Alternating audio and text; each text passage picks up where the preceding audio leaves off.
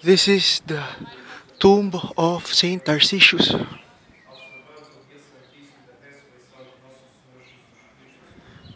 We are now here at the catacombs of Saint Calixtus.